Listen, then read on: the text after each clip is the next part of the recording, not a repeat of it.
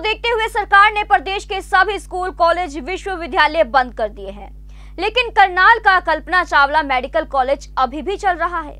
इस कॉलेज में 300 स्टूडेंट्स पढ़ते हैं। मेडिकल प्रबंधक का कहना है कि स्टूडेंट्स की छुट्टी को लेकर अभी मंथन चल रहा है। गौरतलब है कि चीन के बाद भारत में कोरोना वायरस पैर पसारने लगा है। भारत में कोरोना वायरस के कई केस सामने आए हैं, जिसके बाद अलग अलग राज्यों की सरकार ने फैसला लिया है कि राज्य के स्कूल, कॉलेज, विश्वविद्यालय बंद कर दिए गए। हरियाणा सरकार ने भी आदेश जारी किए हुए हैं कि स्कूल, कॉलेज बंद होने चाहिए, लेकिन करनाल का कल्पना चावला मेडिकल कॉलेज चल रहा है। मेडिकल कॉलेज में 300 बच्चे पढ़ते हैं। लेकिन इस कॉलेज को अभी तक बंद नहीं किया गया है। वहीं मेडिकल कॉलेज प्रबंधक का कहना है कि हमारी वीडियो कॉन्फ्रेंसिंग के ज़रिए मुख्य सचिव ने मीटिंग ली थी, जिसके बाद ये फैसला लिया गया कि सभी मेडिकल कॉलेज में सीनियर स्टूडेंट्स को जो चतुर्थ और पंचम वर्ष में पढ़ रहे हैं, उन्हें तैयार किया जाए ताकि अगर महामारी कोरोना का प्रकोप आगे बढ़ता है तो वो स्टूडेंट्स मदद कर सके। लेकिन करनाल का कल्पना चावला मेडिकल कॉलेज तीन साल पहले ही खुला है। ऐसे में यहाँ सिर्फ़ प्रथम, द्वितीय और तृतीय वर्ष के बच्चे पढ़ते हैं। ऐसे में सवाल ये उठता है कि यहाँ एक तरफ़ कॉलेज और विश्वविद्यालय सरकार ने बंद करने के आदेश दिए हैं तो वहीं ये कॉलेज कैसे खुला है? मेडिकल कॉलेज प्रबंधक का कहना है कि स्टूडेंट्स की छुट्टी को लेकर अभी मंथन चल रहा है। बहरहाल एक तरफ़ जहाँ कोरोना वायरस के डर के चलते स्कूल और कॉलेज बंद हैं, पर करनाल के कल्पना चावला मेडिकल कॉलेज में लगातार क्लास लग रही है। क्या ये सरकार के नियमों की अवहेलना नहीं है? क्या ये बच्चों की सुरक्षा के साथ खिलवाड़ नहीं है? ये कुछ ऐसे सवाल है जो लगातार बने हुए हैं। अब देखना ये होगा कि कल्पना चावला मेडिकल कॉलेज खुला रहता है या फिर स्टूडेंट्स की छुट्टियाँ कर दी जाती है। हैं वो हमारी टीम का हिस्सा है।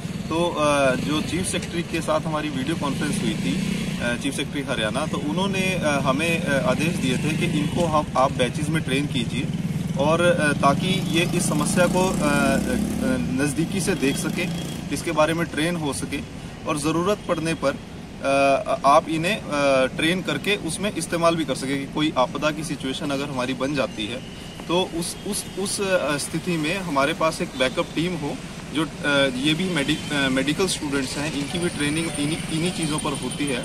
तो इनको प्रॉपर तरीके से कोरोना वायरस को डील करने के लिए ट्रेन कर कर हम इसे इन्हें इस्तेमाल भी कर सके अगर ज़रूरत ऐसी आती है तो, तो मतलब कुछ एक दिन ट्रेन करेंगे उसके बाद शायद छुट्टी कर दी जाएगी। हाँ जी तो अभी कल वाइस चांसलर रोहतक के साथ हमारी मीटिंग थी।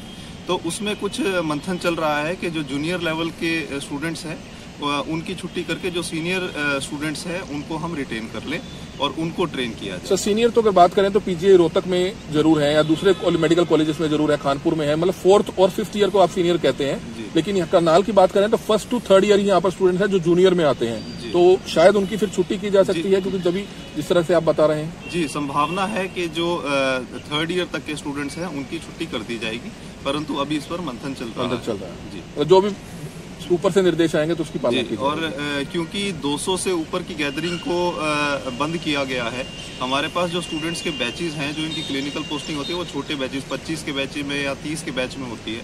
और टोटल जो हमारी स्ट्रेंथ है वो या 100 स्टूडेंट्स की है या 120 स्टूडेंट्स की है। तो 200 का गैदरिंग हमारा मीट नहीं हो रहा है। तो इसलिए भी डीसी साहब ने मतलब इस पर अभी रोक लगाई। टोटल वैसे 300 स्टूडेंट्स पढ़ते हैं। हाँ जी वो इकट्ठे कभी एक साथ नहीं होते।